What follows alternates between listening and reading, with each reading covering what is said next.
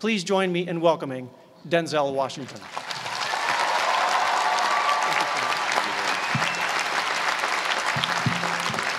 Thank you. Thank you very much. Um, I am obviously the most unorganized. Everybody else has nice boxes to bring their script up in. I just like kind of got it all messed up here and put it inside of a magazine. So, so uh, in fact, I don't even have it in the right order. Wait a minute, let me get it in the right order here. So if it starts like flying around the stage, just, you know, run around and grab it for me and bring it back up here for me. I'll keep going as I can. Uh, President Gutmann, Provost Price, Board Chair Cohen, fellow honorees, beautiful honorees, and today's graduates. I'm, I'm, I'm, honored and grateful for the invitation today. I'm, it's always been great to be on the Penn campus. Uh, I've been here before a lot of times for uh, basketball games. My son played at the Palestra, played on the basketball team. I, yeah, that's right. Played on the basketball team. Coach didn't give him enough playing time. We'll talk about that later. no, but I'm really, I'm, I'm, really, I'm really pleased with the progress that Coach Allen has made. And uh, no, I do. I am. I really am. And uh, I hope him the best success in the future. And, and, you know, I always get a warm welcome when I come to Pennsylvania, when I come to Philadelphia, uh, except on the few occasions where I wear my Yankee cap. That, I mean, uh, uh, what's, what's, what's wrong with that? I, I, I, can't suddenly just switch up and wear a Philly cap. I mean, I mean, it's like taking your life in your hands around here when you wear a Yankee cap. I'm telling you. I met a couple of guys and they were like, "Hey, we love you, Denzel, but you know, you walking around with that hat on. We don't care who you are." so you'll be happy to see that I'm not wearing my Yankee cap today. I'm wearing my Yankee socks, my Yankee T-shirt, my Yankee jock shorts my Yankee underwear, my Yankee toe warmers, but not my Yankee cap. But still, I'll be honest with you, I'm, I'm, I'm a little nervous. I'm, I'm not used to speaking at a graduation of this magnitude. It's a, it's a little overwhelming. It's out of my comfort zone. You dress me up in army fatigues or throw me on top of a moving train, someone said, unstoppable, or asked me to play Malcolm X, Rubin Hurricane Carter, or Alonzo from Training Day, I can do that. But a commencement speech, it's, it's a very serious affair and it's a very different ball game. There are literally thousands and thousands of people here. And for those who say, well, you're a movie star, millions of people watch you and watch you speak all the time, well, that's true. That, that's technically true. But I'm not actually in the theater watching them watching me. I think that makes sense.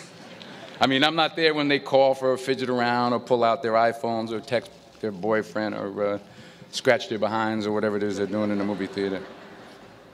But from up here, I can see every single one of you. And that makes me uncomfortable.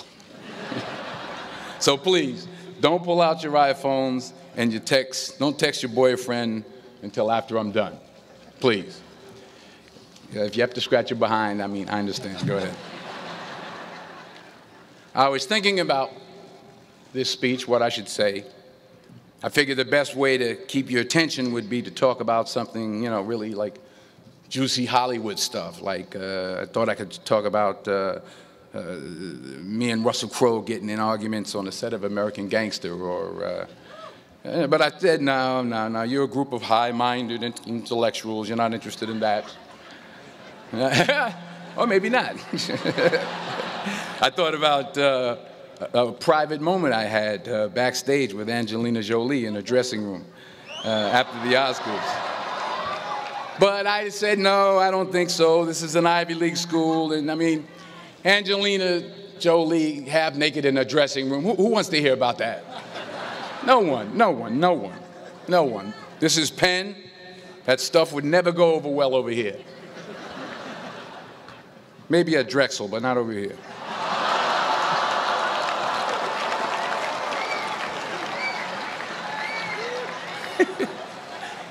Woo, I'm in trouble now. so I was back to square one, feeling the pressure.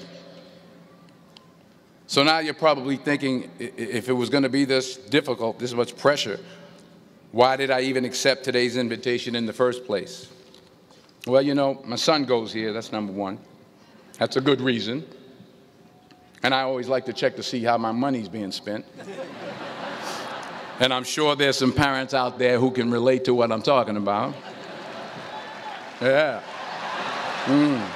To everybody upstairs. And there were some other good reasons for me to show up. Sure, I got an Academy Award, but I never had something called a magic meatball after waiting in line for half an hour at the food truck. Yeah?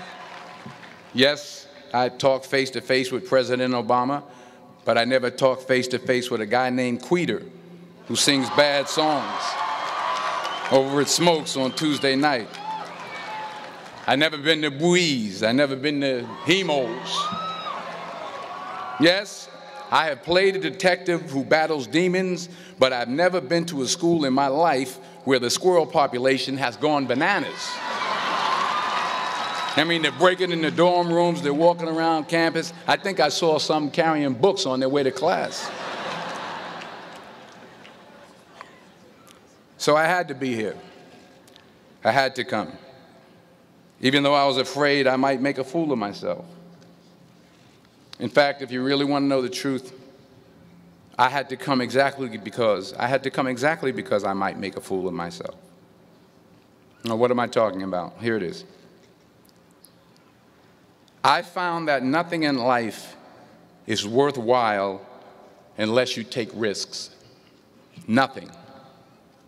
Nelson Mandela said, There is no passion to be found playing small and settling for a life that's less than the one you're capable of living.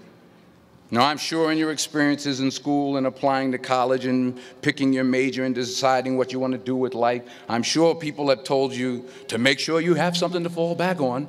Make sure you got something to fall back on, honey. But I never understood that concept, having something to fall back on. If I'm going to fall, I don't want to fall back on anything except my faith. I want to fall forward. I figure at least this way I'll see what I'm going to hit. Fall forward. This is what I mean. Reggie Jackson struck out 2,600 times in his career, the most in the history of baseball. But you don't hear about the strikeouts. People remember the home runs. Fall forward. Thomas Edison conducted 1,000 failed experiments. Did you know that? I didn't know that. Because the 1,001st was the light bulb. Fall forward. Every failed experiment is one step closer to success. You've got to take risks, and I'm sure you've probably heard that before, but I want to talk to you about why that's so important. I got three reasons, and then you can pick up your iPhones. First, you will fail at some point in your life. Accept it. You will lose. You will embarrass yourself. You will suck at something. There's no doubt about it. And I know that's probably not a traditional message for a graduation ceremony, but hey, I'm telling you, embrace it because it's inevitable. And I should know. In the acting business, you fail all the time. Early on in my career, I auditioned for a part in a Broadway musical. Perfect role for me, I thought, except for the fact that I can't sing. So I'm, I'm in the wings, I'm about to go on stage, but the guy in front of me, he's singing like, like, like Pavarotti. He's just, and he's just going on and on and on. And I'm just shrinking, I'm getting smaller and smaller. So they say, oh, thank you very much, thank you very much, and you will, you'll be hearing from us. So I come out with my little sheet music, and it, it was, it was uh, Just My Imagination by the Temptations. That's what I came up with. So I hand it to the, the, the, the accompanist, and uh, she looks at it and looks at me and looks out at the director and was like, right. So I, I start, you know, I, am I'm going to sing. I'm like, it's just my imagination once again. And then coming away with me. And they're not saying anything, so I'm thinking I'm getting better. So I, I start getting into it. It was just my Running. They say, oh, yeah, uh, th- yeah thank, thank you, thank you. Thank you very much, Mr. Washington. Thank you. So I assumed I didn't get the job. But the next part of the audition, he called me back. The next part of the audition is the acting part of the audition. So I'm like, hey, okay, maybe I can't sing, but I know I can act. So they pair me with this guy, and again, I didn't know about musical theater. And musical theater is big, so they can reach everyone all the way in the back of the, of the stadium. And I'm more from a realistic, uh, naturalistic kind of acting where you, you know, you actually talk to the person next to you. So I, I don't know what my line was. My line was, well, hand me the cup. And his line was, well, I will hand you the cup, my dear. The cup will be there to be handed to you. I, I, said, oh, okay. well, should I give you the cup back? Oh, yes, you should give it back to me because you know that is my cup and it should be given back to me. I didn't get the job. But here's the thing I didn't quit, I didn't fall back. I walked out of there to prepare for the next audition, and the next audition, and the next audition. I prayed. I prayed, and I prayed. But I continued to fail and fail and fail. But it didn't matter because you know what? There's an old saying you hang around the barbershop long enough, sooner or later you're going to get a haircut. So you will catch a break, and I did catch a break. Last year, I did a play called Fences on Broadway. Someone talked about it. Won the Tony Award. I, and I didn't have to sing, by the way. But here's the kicker it was at the Cort Theater.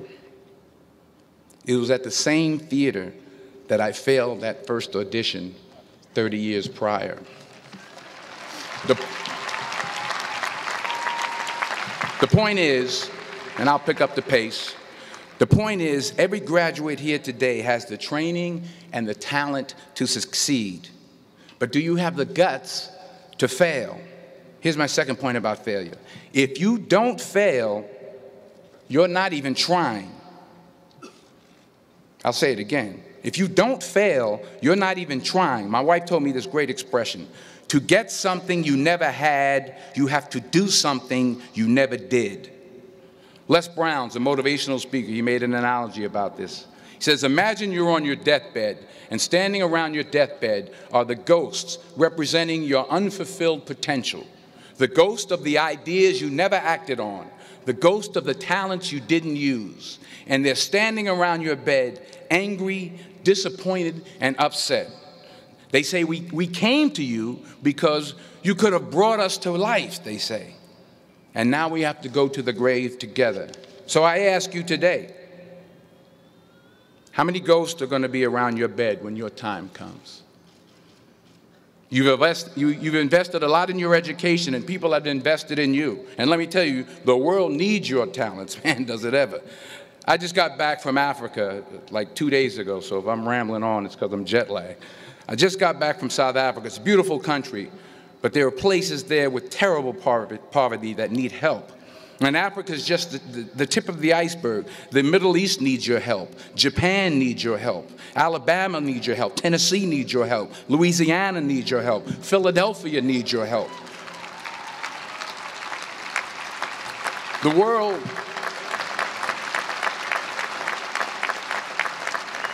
The world needs a lot, and we need it from you. We really do. We need it from you young people. I mean, I'm not speaking for the rest of us up here, but I know I'm getting a little grayer. We need it from you, the young people, because remember this. So you got to get out there. You got to give it everything you got, whether it's your time, your, your, your talent, your prayers, or your treasures. Because remember this you will never see a U Haul behind a hearse.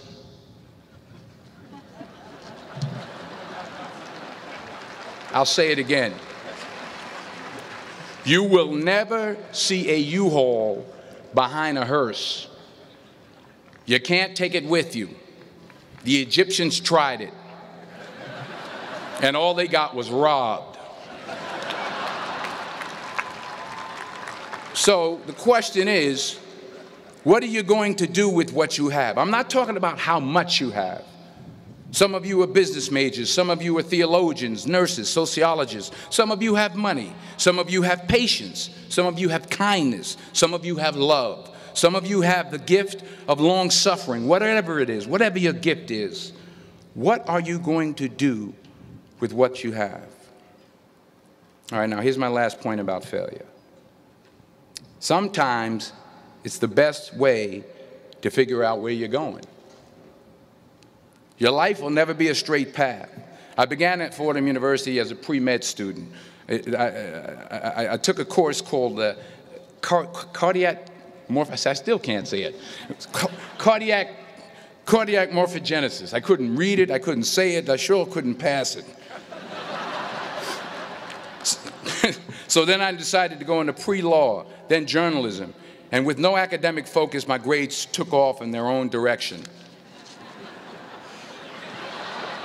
Yeah, down. I was a 1.8 GPA one semester, and the university very politely suggested that it might be better to take some time off. I was 20 years old, I was at my lowest point. And then one day, and I remember the exact day, March 27, 1975, I was helping my mother in her beauty shop. My mother owned a beauty shop up in Mount Vernon. And there was this older woman who was uh, considered one of the elders in the town. And I didn't know her personally, but I, I, was looking in the mirror, and every time I looked at the mirror, I could see her behind me, and she was staring at me. She just kept looking at me. Every time I looked at her, she kept giving me these strange looks. So she finally took the dryer off her head and said, to some, she said something I'll never forget. First of all, she said, Somebody give me a piece of paper. Give me a piece of paper. She said, Young boy, I have a prophecy, a spiritual prophecy she said, You are going to travel the world and speak to millions of people. Now, mind you, I'm 20 years old, I'm flunked out of school. In fact, like a wise ass, I'm thinking to myself, maybe she's got something in that crystal ball about me getting back into school next fall. But maybe she was onto something because later that summer, while working as a counselor at a YMCA camp in Connecticut, we put on a talent show for the campers. And after the show, another counselor came up to me and asked, Have you ever thought about acting? You're good at that. So when I got back to Fordham that fall, I got in and I changed my major once again for the last time. And in the years that followed, just as that woman prophesied, I have traveled the world and I have spoken to millions of people through my movies. Millions who, up till this day, couldn't see me, I, who, who, up till this day, I couldn't see while I was talking to them, and they couldn't see me. They could only see the movie. They couldn't see the real me. But I see you today, and I'm encouraged by what I see. And I'm strengthened by what I see. And I love what I see.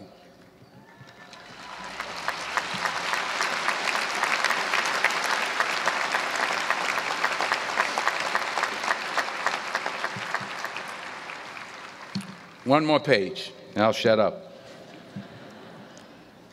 Let me conclude with this one final point, and actually the president kind of brought it up. It has to do with the movie Philadelphia. She stole my material.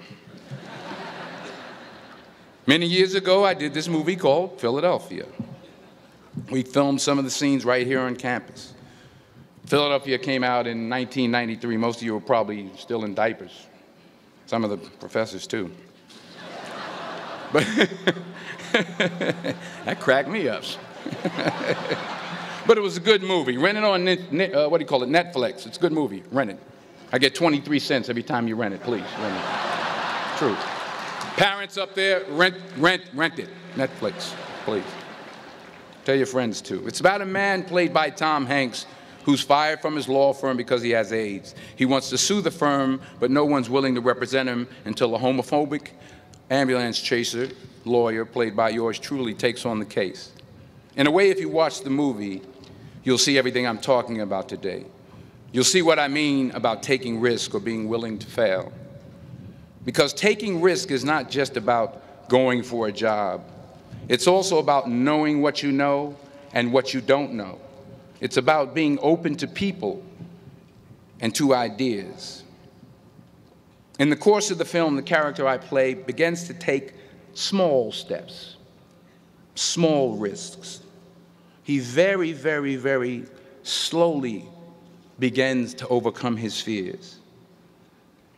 And I feel ultimately his heart becomes flooded with love. And I can't think of a better message as we send you off today to not only take risks, but to be open to life, to accept new views, and to be open to new opinions, to be willing to speak at a commencement at one of the best country, best uh, universities in the country, even though you're scared stiff. While it may be frightening, it will also be rewarding. Because the chances you take, the people you meet, the people you love, the faith that you have, that's what's going to define you. So, members of the class of 2011, this is your mission. When you leave the friendly confines of Philly, never be discouraged, never hold back, give everything you got. And when you fall throughout life, and maybe even tonight after a few many glasses of champagne, remember this fall forward. Congratulations. I love you. God bless you. I respect you.